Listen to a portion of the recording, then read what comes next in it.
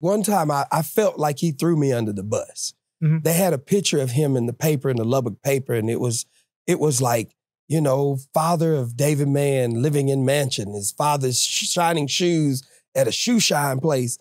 And, you know, and it made me look like deadbeat son. So I asked him, I said, Was I your son when we were on food stamps?